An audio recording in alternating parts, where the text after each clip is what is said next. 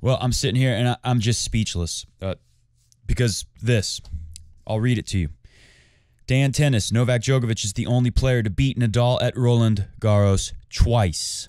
That's right, it never happened before. Soderling beat him once, Djokovic beat him once. Now Djokovic has beat Rafa, the king of clay, in his sandbox twice. Massive.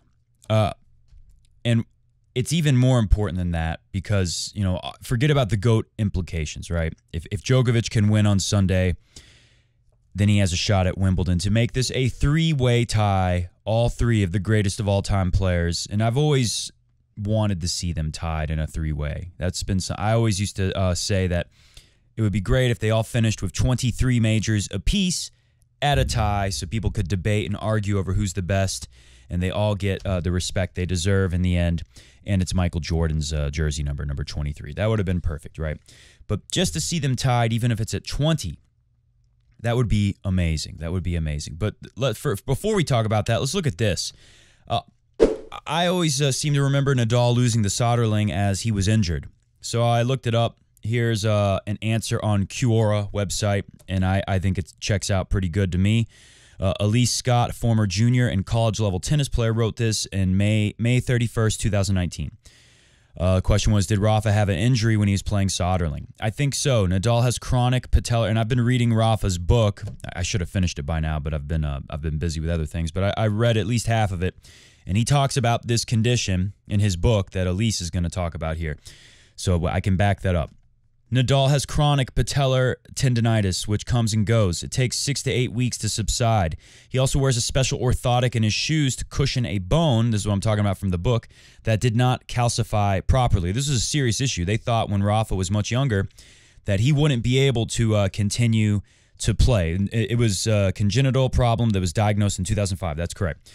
Uh, 2005, they they thought there was a period where Rafa was very depressed the book talks about how his dad, you know, was really like his rock and helped him get through that period where Rafa thought it might be over. Such a bright start for him as a professional tennis player, and he might have to stop, is what they were worried about back then. So it's a pretty serious um, congenital problem. This peculiar angle of the orthotics in his custom built shoe, while it saves his navicular, navicular, I don't know what that is, it's a bone in his foot, with smart angling, it transfers more stress on the tendons in his left knee, hence the uh, the early knee problems. You know, someone who works out like Rafa and builds up the leg muscles like him. I mean, show me those calves, uh, as Grigor Dimitrov would say. They typically don't have a lot of knee injuries because the leg is so strong it can take a lot of uh, a lot of a beating. So this is a special thing here. I recently rewatched his match with Soderling. No question, Soderling played out of his mind. Rosol also in Wimbledon. When you see a top player lose, it's usually a combination of them being slightly off and the other player playing extremely high risk, which is true. That's what happened in 09. Soderling was teeing off on every shot, and Nadal was a half step slow. Less than three weeks later, Nadal pulled out of Wimbledon, citing tendonitis in his knees. You better believe he said he said the pain worsened in his Madrid final loss to Fed before the French Open. Rafa was Wimbledon defending champion, of course, in 09, having beaten Federer in the Epic of 08. There's no way he would not have tried to defend his title if he could have. So, yes, he wasn't 100% when he lost to Soderling. Still an amazing accomplishment from Robin Soderling. Uh, let's check it out with Wikipedia to get a second source on this. Was Rafa injured the first time he lost on clay? Is it a, a proper loss, I guess you could say? Or at least, you know, when we're looking at the whole body of work that is Rafa's career at the French Open, how uh, heavily do we weight this? By beating Lleyton Hewitt in the third round of the French, Nadal set a record 31 consecutive wins at the French Open, beating the previous record of 28 by Borg. This run came to an end when he lost to eventual runner up Robin Soderling in the fourth round. Nadal's first and until 2015 only loss to the French Open after a surprise defeat in France. Nadal withdrew from the um, that's Queen's Club. Aegon was their sponsor then.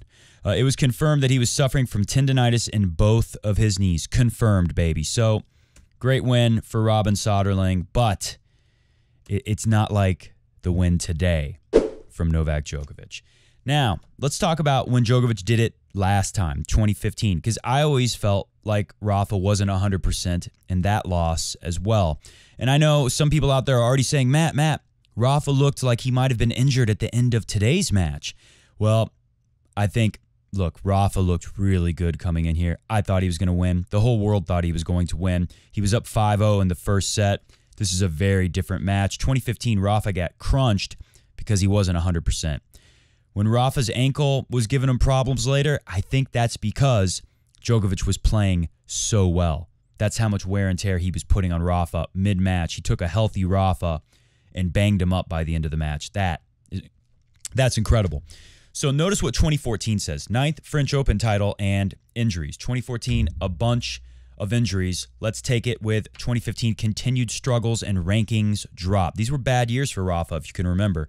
Fed fans like myself might not have noticed so much because Roger was having a little renaissance uh, in 2014 and 2015, even though Djokovic would beat him in every final he made in the majors, uh, both of those years, uh, both of those Wimbledon finals the Fed fans will remember very well when Djokovic, uh, especially 2014, that was the better one, I believe. 2015 was the four set final, five sets in 2014. Anyways, let's read this. Nadal began the year 2015 as defending champ of Qatar, the Qatar Open, but he suffered a shocking three set loss to Michael Berrer in the first round. He won the doubles title of Monaco at the Aussie Open. He lost in straight sets to Tomas Birdman, Berdych, in the quarterfinal, ending a 17 match winning streak against the Birdman. So that'll tell you something. Rafa's not healthy when he's losing to the Birdman. Uh, February, Nadal loses in the semifinals to Fabio Fognini in uh, Brazil. I remember that one well. Before going on to win his 46th cl- career clay court title against Juan Monaco in Argentina. Argentina. Nadal then participated at Indian Wells in Miami, but suffered early defeats to Milos and Verdasco. Yeah, not healthy. Quarterfinals and third round, respectively. Nadal then began uh, participating uh, his his clay season at Monte Carlo. Reached the semifinals, lost to Djokovic, got smacked. After losing the Fognini again in Barcelona, he enters Madrid. Two-time defending champion loses to freaking Andy Murray. Yeah, not healthy, not 100%. Resulting in his dropping out of the top five for the first time since 2005. He then loses in the quarterfinals of Rome to Stan. Loses to Djokovic in the quarters of the French, and again he got smacked down. It was so bad that take a look. This was an article This was an article from back then.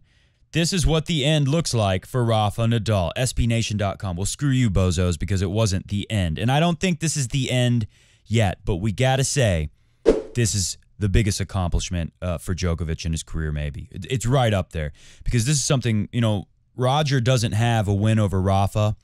But if Rafa just finished his career by beating Djokovic every time they played at the French Open, you could always look at those things I just told you.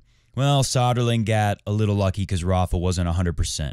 Djokovic, same thing. Everyone, it was the World Tour 2015 of Rafa getting beat by everybody on clay, all kinds of people, including the Joker in three sets. I think it was 7 5, 6 3, 6 1. It was like a beatdown. So that takes us here. Ankeet, we're going to retweet or we're going to retweet from On Ankeet. Haven't seen him in a while. Uh, it's been uh, a few years, I think. Believe it or not, Coffee Break Tennis is almost five years old now. So, or four years, excuse me. Now I expect the Joker to get to 20 this Wimbledon by defeating. Well, first off, he's given them. Don't forget about this guy. Tsitsipas is just a small kid who doesn't know how to fight, but he's now in a Grand Slam final. This is great. We'll give it a heart. We'll give it a heart over ATP WTA memes on the Instagram. But back to the tweet of Ankeet, which is a pretty sweet tweet. I may say if I'm not being discreet. So now I expect the Joker to get to what the heck, Matt? I expect the Joker to get to 20 this Wimbledon by defeating Roger in the semis, more probably uh, before the final. Well, hopefully somehow the seed works out. We'll be saying we'll be singing "Thank you, Mr. Wimbledon," and if we can get Roger and Djokovic in opposite halves of the draw, that's what we need. Uh, as a Fed fan, I guess it's time to acknowledge that the Joker will very soon be the goat statistically. That's uh that's that's very true he very well. We could have our three way tie. He could win the U.S. Open, even though it's been a while. Struggles at the U.S. Open. Uh, not even mentioning what happened last year. But he could be the all time great in the Grand Slam race with 21, leaving Rafa and Roger behind. Think about what it was like when he first broke onto the scene and people, a lot of people like Joker. He did funny impressions of Sharapova and other players. He picked the wedgie like Rafa when he did his impression of him serving. And then Djokovic stopped doing the impressions and got very serious and started beating Rafa everywhere. And uh, uh, fans, you know, people didn't like it all of a sudden. people were like, "We liked you before you started beating uh, our heroes, Roger and Rafa." And now here we are all these years later, and when the story has been so laser focused on Rafa taking the record away from Roger, Djokovic comes in and beats the King of Clay when he looks unbeatable. 2015, he looked terrible. He looked unbeatable. But I got to tell you, I know this is very different than 2015 from Rafa's perspective. And that that might be everything we need to know, but never forget what happened in 2015. Could it literally happen again? They do both have one handed backhands, of course. But one of them is a small kid who doesn't know how to fight. And your source is reliable. Sure. Well, if if you want to refute something, great. Next question, please. I would like to answer that, please. So, Allow me to reintroduce myself. My name is Joe. K to the OV. I see you know your favorite player from the big three. I guess my mission is to be GOAT. The only thing that can stop me is a throat yeet.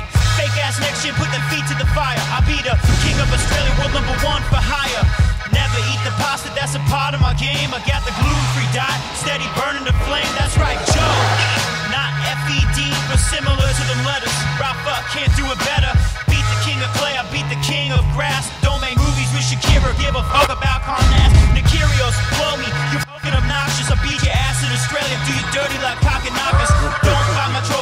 Love them too much. That's why I plan to win more because I love it so much. Come on, talk about the mental side. the Coffee Break Tennis what does that mean? Podcast. It is a that happen in your podcast. I'm choking on some decaf here, so excuse me. situation, Are you able to But uh, I had to get more use out of that. I put a lot of work into that hip hop extravaganza for Novak, and it, it, it is a good song. If ever you needed a rap diss track, I mean, this is the ultimate uh, diss from uh, Djokovic beating the King of Clay in his sandbox. And you know, I want to say a couple things about Djokovic because I know so many people hate Djokovic. He showed a lot of class on court after this was over. The first thing he said was that uh, what an honor and privilege, something to that effect, that it is to face Rafa. It's such a privilege for him to face Rafa here at Roland Garros and what it meant to him. And then later he said that, and you know, the, he's talking in French. He speaks great French. And uh, Guy Forget, forget you guy, who once made us really mad about something he did to Roger years ago that I can't even remember now. But I started saying "forget you guy" because that's what his name looks like if you uh, see it written. But it's pronounced Guy Forget because it's very French, and I can say anything I want making fun of French people because I am 15% French. Frank Reicher. Anyways, he was uh, speaking in French to Guy Forget, and then Guy Forget translates in English, and he says in French. Oh God, I can't. Oh, what did I just blanked? What did he say? I remember now. He said that the pressure he can't describe. He said it was indescribable, very difficult to describe, something like that. But he said used the word describe and how hard it was to do so, describing the the pressure you face against Rafa Nadal. It's so very difficult to play Rafa here in an atmosphere like that, knowing you're on the clay with the king. I mean, his legend at Roland Garros, it is the most impressive stat in all of sports, not just tennis. So what Djokovic did today is, you know, I love Roger Federer and I, I think he's the greatest. But man, what what Djokovic did today is is quintessential goat, textbook definition of greatest of all time is what he just did to Rafa in his house playing that well. So Guy Forget starts translating in English, saying, uh, It is so difficult to describe the pressure that I felt playing Rafa today. This pressure is so intense. And then one of Djokovic's fans, they're holding a Serbian flag. They shout out, What pressure? And Djokovic laughs sarcastically, like he's kind of annoyed by this uh, ignorant comment. And he says, What pressure? and he calls out his own fan, right? A lot of people think Djokovic fans are obnoxious. And sometimes they are obnoxious. Maybe uh maybe they should be obnoxious the way everyone uh, hates on Djokovic and cheers against him so much everywhere in the world practically. Man, they showed up today for him though, didn't they? A lot of Djokovic fans in the crowd today. But Djokovic calls out his own fans and he says, "Maybe that's what you tell." This he grabs the microphone or he doesn't because it's on a stand. He or maybe he did put it. It doesn't matter. He takes the microphone and he says, "Maybe that's what you tell yourself, bro." He didn't say bro. But trust me, the pressure is real against Rafa Nadal. Djokovic called out his own fans. So the Djokovic haters, I hope you can give them a little bit of love and respect for doing the right thing there and uh, and giving so much respect to Rafa in the uh, speech after the match was over. Uh, don't forget that article I showed you uh, earlier. It said this is the end for Rafa when he loses to Djokovic in 2015. Uh, it wasn't then, and it's not now. I think Rafa can win another French Open. I think Roger can win another Wimbledon. Might happen in a few weeks. I think Djokovic can definitely win multiple more majors, and there's a good chance he ends up being the GOAT. But let's talk about how the match went down. And uh, I'll just say this about Sasha Zverev. this is what I did in the last video. And now we'll do uh, 30 seconds on Tsitsipas and Sasha Zverev. Tsitsipas was very good. He was impressive. Being up two sets to love and finding yourself in a fifth set is big time. And you could see how much it meant to Tsitsipas. You know, he was uh, in tears He's in his first final. Like I, I was saying, did I say this earlier? I don't remember. Uh, I guess I didn't say this. I haven't spent much time on Tsitsipas. Tsitsipas, this is his first time. So he's had the growing pains and the slip ups and the mess ups and the semifinals. Rafa's first final, he wins. Roger's first final, he wins. If Tsitsipas is going to be one of the greats, and I think he could, I think Tsitsipas could grab five, six majors, maybe maybe more. Definitely, he he has the talent, and he seems to have the belief. You know, he choked last year at the U.S. Open against Borna Coric. Comes back down two sets to love at the Australian Open this year against Rafa. I think he's uh, showing that he can move past that and that he has what it takes mentally. And this was a tough mental match. Uh, Sasha Zverev, he had his chance in the fifth set. He was up 40 love early on the Tsitsipas serve to break. And I'll say this I tweeted something like this during the match. You know, choking or uh, not being mentally tough in the department of Sasha because he's got everything. He's got all the talent in the world. He's got a great serve. He's got a one of the best backhands on tour. He's got a great forehand when it doesn't fall apart when he gets nervous, gets very stiff and mechanical, deaccelerates, all that. You know, mental issues. He's got all the talent in the world, but the mental issues. It's not just the double faults that we see from Sasha Zverev because that is his problem. It's mental. It's not just those random double faults when the pressure comes on big. It's not just the forehand falling apart when the pressure comes on big. It's when he had the love 40 against Tsitsipas early in the fifth, and he doesn't find that extra acceleration that you would see from a big three player, where they just they go for the shot just a little bit more, they bring the pressure just a little bit harder. Instead, I mean, he doesn't play bad, but he backs off just enough to let Tsitsipas have a chance. And once you do something like that and you get the confidence going, confidence is everything, especially in a fifth set of a major at a semifinal. That was a great semifinal, but it sucks compared to the one we just saw, which might have been the greatest semifinal of all time with Djokovic and Rafa. The only thing that compares is 2011 when Roger beats Novak Djokovic in a semifinal and, of course, wags the finger after one of the all time uh, greatest moments ever for Fed fans. I mean, can you remember a more joyful day than that, other than a 2017 Australian Open? All right, so let's look at how the match happened. Craig O'Shaughnessy, he used to be on the Djokovic team. He's a stats guru. If you don't know who he is, follow him on Twitter. He's great. 6-3, 3-6, 1-0. Nadal versus Djokovic. Rafa holds, but Djokovic steps into an ad court serve out wide and rips it cross to Rafa's serve plus one forehand, forcing the immediate error. This is a blueprint for Nole to do repeatedly for the rest of the match, and that he did. You know, Carlos Moya, you could see the evidence of what he's done for Rafa's game. There were some big moments where Rafa came up with an ace or just a serve that Djokovic didn't get back to keep the match alive because he changed his patterns. He used to serve ad out wide as a lefty all the time to where it was so predictable you could kind of sit there. But sometimes he surprises you now, more than he used to at least, and goes up the tee flat. In the deuce court, sometimes he hits it flat out wide instead of his up the tee with a little slice, lefty slice away. You can't get as much angle up the tee in the deuce court as a lefty, but you still can get some. He would hit that a lot. Now he's banging it out flat and that just changes what it feels like as a returner. So this was the picture that uh, he included in his tweet. Djokovic stepping in, you can really see him out on the front foot, weight into the ball, hitting the ball way out early. Really, you know, you know that he's going to win this return nine times out of ten when you see that picture, and that's what it's like. You know, these guys, Roger and Rafa, especially. You know, Djokovic defends so well everywhere. But Roger and Rafa, they're very used to defending on the backhand side because their entire careers every player they go up against thinks, I have a great idea. Here's my game plan. I'm going to hit to his backhand because his forehand's the best forehand on tour. Federer and Nadal, they're both, they've always been up there as the two best forehands on tour.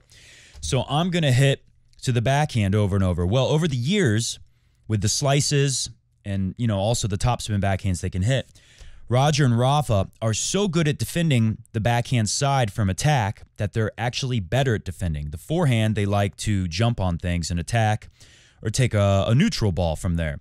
But when they really get pressured on the forehand side, yes, of course, they're going to come up with great shots occasionally, but they're just not quite as good defending on that side. And take a look at what it looks like when Rafa's having to play a forehand on pure defense. It's not as good, obviously. So that was something that Djokovic did very well. I mean, the returning I talked about in the last show, Matteo Berrettini was a great warm up for this because Berrettini's first serve is so big and his first forehand strike is so big. You know, Berrettini is one of the best serve plus one players out there. That's why he's a top 10 player. Uh, when uh, Djokovic was able to return the way he was to stop Berrettini from cleaning up with the forehand right away and get the rallies going, that was the best possible preparation to do what he had to do against Rafa because that's what you got to do. You know, um, if you can hit big to Rafa's backhand and push him back a little, and then you can really go big to his forehand corner and you, you can catch him like that to where the forehand is a very defensive forehand and he, he can drop it even shorter than what you might see on the backhand side just because there's so much use both him and Roger, there's so much more used to defending on that side. All right. Set all 6 3 3 6 Nadal versus Djokovic. Super smart approach by Djokovic. Take a look. Approaches right down the middle of the court to the Nadal backhand. An awesome play comes to the net. That's what approach means if you're very new to tennis. Uh, it's such an awesome play that it's completely underused at all levels. It provides no angle for the pass. How true is that? Djokovic did a lot of stuff like this very smart. Shorty D, Diego Schwartzman. You know, as I made yesterday's show, the more and more I talked about everything, the more I felt less confident in my pick of Rafa winning in five sets. I knew it was going to be a long, epic match. And the more I thought about it, by the time I finished that show, I kind of wished I had changed my prediction to Djokovic. Just because, you know, when you look at the stats department, he's serving so much better than Rafa.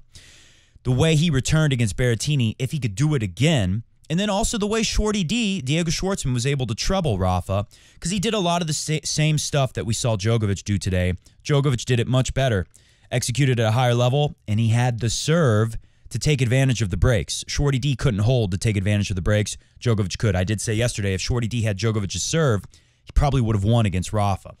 So uh, there you go. That should have been everything we needed to know to, to think that Djokovic might win. All right, uh, let's see. I got look at this really quick. They were gonna kick all the fans out of what is probably the greatest semifinal of all time, and then this was the official announcement from uh, Emmanuel Macaroni. He parachuted in through the new roof and said. Due to the exceptional nature of the match, public authorities will allow fans to stay. And uh, I just have to wonder if it was anyone else besides Djokovic and Nadal, maybe it was Federer and Nadal or Federer and Djokovic, would they have done this? I don't think so. I think it was because it was a GOAT match. They don't want to go down in history as the French government ruined it for the fans. You know, maybe ruined the match. Maybe like there's a long break getting the fans out of there and, and like one of the guys' muscles go, go cold and the match has like a real stinker of a finish. So Macaroni was like, no chance. Like I said, I'm, you know, 15 or 10% French, something like that. I can make fun of the French all I want. Um, anyways, good on them. The French did it right here. All right, let's look at the serve plus one stats because I said this. A lot of talk about serve plus one. Djokovic was only ahead 60 to 57, but that's that's huge. Because Djokovic, look, he beats him 53 39 in the 5 to 8 uh, shot rallies, and he beats him just barely, tw- excuse me, 29 to 28 in the 9 plus shot rallies. So he didn't need much here. This is where, jo- where Nadal cleans up. This is where Nadal would have a big advantage if you look at last year's match, I don't have the numbers with me, but I remember doing the video last year. Nadal was way ahead in the zero to four shot, the the serve plus one type points, and and I think um, Joe maybe I can't remember what it broke down to the five to eight and the nine plus shots, but I think Djokovic might have been ahead, or at least it was very close. But Nadal had a big lead here, so you just had to take away that big lead. Even if this was uh, Nadal ahead by a little bit, Djokovic still wins this match. It didn't need to be a big lead for Djokovic here. He just needed to stop Nadal from getting a big lead in the zero to four shot rally. Uh, so this is kind of confusing looking, but take a look in the middle. And remember, Djokovic is going to be on the left side and Rafa on the right of the net that runs down the middle. The first tier is serve. So everything here is showing us um, A would be aces, duh, and DF would be double faults from Nadal. So six aces mean that six times. Djokovic won on one shot only, zero to four shots, so one shot. Uh, zero would be a double fault. So eight double faults from uh, from Nadal. See, it says DF Nadal's there. So when we're looking at serve, this is how points broke down when they finished with just one serve being struck. Uh, they're tied in aces, I guess. Uh, oh, only one service winner over here. You see the W with a one. That means Nadal hit a serve that wasn't an ace, but Djokovic couldn't get it back. So I guess Nadal didn't have. Um, I guess there was no service winners for Djokovic. Is that possible? I don't know. Three double faults from Djokovic. So Nadal wins a combined 10 points from serve alone, six aces, three double faults when Djokovic was hitting a serve. That's a zero shot rally. And Djokovic wins 14, eight double faults from Nadal. A lot. That's eight double faults from Nadal and only three from Djokovic. That tells you how well Djokovic was returning serve. And Nadal felt so much pressure that uh, there were some double faults. It was inevitable. All right, return. This means it's a two shot rally. Uh, one time, Djokovic hit a winner off the return, I guess is how that reads there. It's a little confusing even for me, but bear with me. We're going to try to understand this together. Uh, six times, Djokovic's return was so good that it forced an error out of Nadal.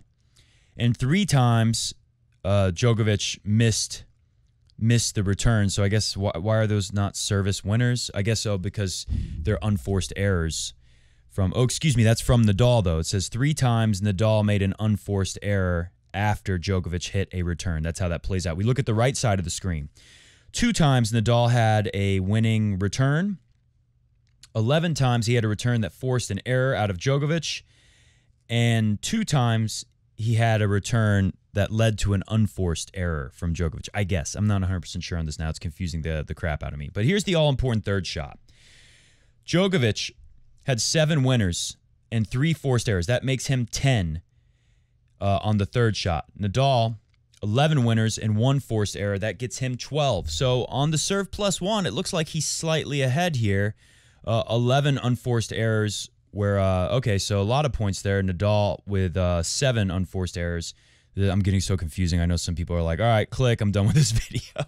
like I said, I've, I've never looked at this graph before, so let's try to try to make sense of it. And then the fourth shot, uh, three winners from Djokovic, six errors from Nadal, forced by Djokovic, 10 unforced. So that would be uh, 19 altogether for the Joker. And then, uh, so it looks like the fourth shot is where Nadal was uh, not as good. Am I reading this right? If, if Nadal is serving, the return would be Joker's, the third shot would be his, the fourth shot would not be his. So does this mean fourth shot when he's returning? That must mean we got to flip it around when we look at this fourth shot. On the left side, it's Djokovic returning three times. On the fourth shot, he was able, because right, Nadal serves, Djokovic's return is the second. Nadal hits his serve plus one, all important third ball. And remember, number five is where uh, Nadal does a lot of damage as well. Djokovic able to hit winners three times off of that serve plus one shot from Rafa. Six times he's able to force an error, and 10 times uh, he's able to hit a shot that's good enough to get an unforced error on ball number five from Rafa. I guess that's how that reads. Uh, sorry if I bored you to death with trying to understand that. The bottom line for me is 60 to 57. If Nadal wins this match, he has a big lead in this department. He's not behind by three. Okay, uh, hit the music because we're going to get out of here. I got a couple things for you. One, I told you the Peacock's going to be annoying everyone. That's how that's their business model. Here's an email from the Peacock I got. They're like, hey, check it out. There's Rafa, the French Open final. We got it exclusive on the Peacock. Read below. Don't miss the final matches, starting with men's doubles. Oh, I don't know if they have. They only have doubles. That's what they have exclusively. I'm, I'm pretty sure. Uh, and then what do you know? Oh, I'm on Instagram, and Peacock TV has got sponsored advertising on Instagram targeting me. Stream exclusive French Open coverage going to June 13th. I don't know. Maybe they'll have the final two. I'm not sure. not a big fan of the Peacock. Last thing. Federer's main goal for Halle. This is thanks to uh, Laura on Twitter. She uh, finds these articles. These are German articles, Westphalia. This is what Federer is saying right now. And this is why I think the people who get mad at him are stupid, because he did the right thing for Wimbledon. Tennis star Roger Federer has taken a four day break from training after his retirement from the French Open. See, he needed He couldn't go back out there and play. He knew what was up. They had to rest that knee for four days. He just started practicing in Germany yesterday uh, for, on the grass. His knee needed recovery, said the Swiss on Friday at a video press conference. He only briefly trained on grass for the first time on Thursday, right? Four days of rest plus a very light practice. Think about that. I'm optimistic that I'll feel okay for the next few days, said Roger. At the French Open in Paris, Roger withdrew from the tournament after a third round victory over Dominik Koepfer from the Black Forest. Uh, I don't know what that means. That must be a weird, um, it, it probably means Roland Garros, but it was a, a weird translation. Again, this is uh, German translated to English. Who knows what it really meant? He was no longer running for the round of 16. Federer just returned to tennis after blah, blah, blah. We know that. The focus of the Grand Slam tournament winner is on the upcoming grass. And Halle, the world number one, said, It starts with some uncertainty. I'm curious to see what I have in myself. I have a good feeling. I don't know whether the number one goal is to win this tournament, though.